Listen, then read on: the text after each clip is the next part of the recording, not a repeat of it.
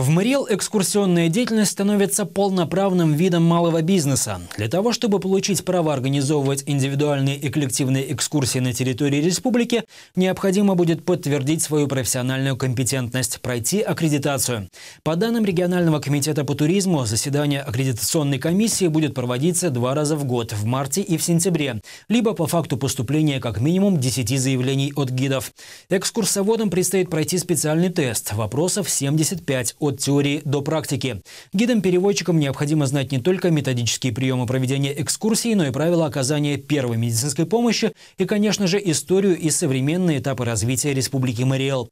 Цель аккредитации – повысить качество проведения экскурсий как от местных, так и от приезжих гидов. Если не любить свой город, то лучше не идти в экскурсоводы. Если не хочется говорить о том, какой город стал или был, да, лучше молчать и, и заниматься чем-то другим.